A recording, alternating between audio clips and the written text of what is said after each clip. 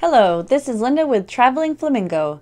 Congratulations on registering for your Run Disney weekend. Today, this is going to be the first video in our Run Disney series. I'm going to go over some tips for what you need to do now that you've registered and different strategies that you might want to employ as you start your training. So we've participated in a few Run Disney events. Our first one we did was the half marathon at the Run Disney weekend. Then we did the Tower of Terror 10 miler, which they don't offer that anymore. And the last two years, my sister has, and I have done the Dopey challenges and we did the Goofy challenge as well. So I'm talking from a little bit of experience here. What we really love about all the Run Disney events is that there's so much energy, the theming is amazing, and they've got a lot of great materials and um, stuff that you can purchase at the Running Expo, which aren't always available at some of our smaller Canadian runs. If I lived in Orlando, I would definitely be participating in far more of the Run Disney events. And before I start, I'd like to give a shout out to all the volunteers. I know my alarm is going off at 2, 2 o'clock, 2.30 in the morning. I can't imagine what time your alarm is going off to be greeting us there as soon as we get off the buses. With all your energy, the whole way through the morning, you guys are amazing. Thank you so much to all the volunteers.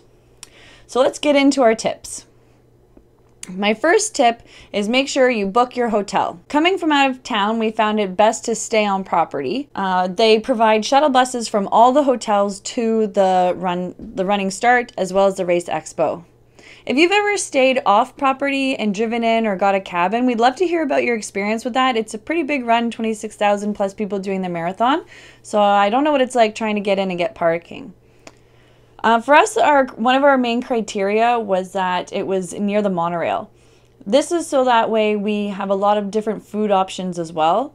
One year we stayed at the at the Animal Kingdom. Love the Animal Kingdom. The pool is amazing. There's a lot to do there, but there isn't a lot of food that is in our regular diet. And when you're about to run a marathon, you don't really like to experiment with different foods. So for us, staying near the monorail loop had we had more options that are closer to our regular diet. We find that staying at the Wilderness Lodge the best option. It's a great hotel without the same price as staying at the Contemporary, the Poly, or the Grand, but we still have access to all their food just by taking a short boat ride over.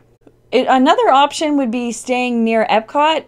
Um, definitely, if we had a season's pass, staying somewhere on Boardwalk or around there, because that way you could just go into Epcot for dinner, and that would be really awesome as well. So if you've ever done that, let us know how that goes. But I think that would be a really good option as well.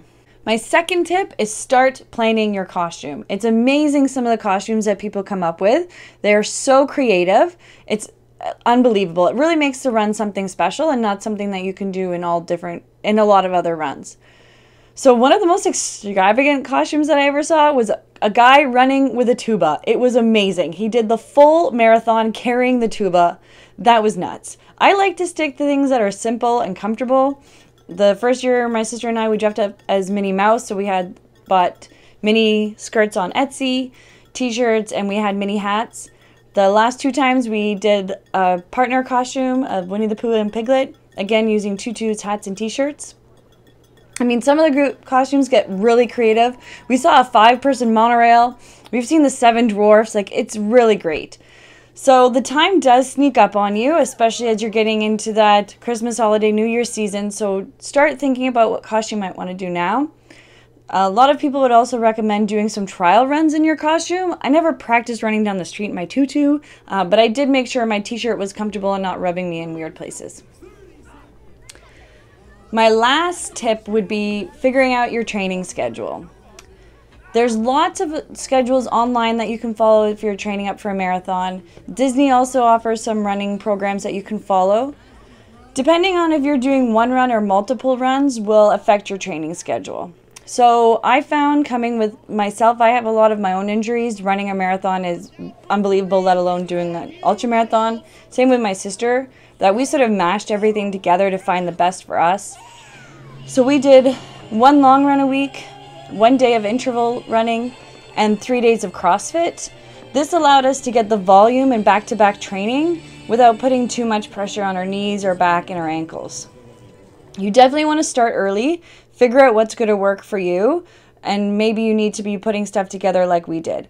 That being said, we've met a lot of people who didn't train as much as they wanted to. You know, you talk to a lot of people there, they share their stories and they're really nervous because you know oh I've only you know done a 15k run we're running a marathon like how's that gonna go? Um, and you get through it. There's a lot of people there supporting you and pushing you on. And um, you know you finish it but it's to be painful. So our plan was to try and enjoy it and finish and enjoy it as much as possible. And the more training you can do the more that you'll enjoy that. So we are a new channel. If you have anything to say please put it in the comments below. Good bad we're open to it all to hear more of our Run Disney series, make sure you hit that subscribe button. Thanks for watching and good luck with your training.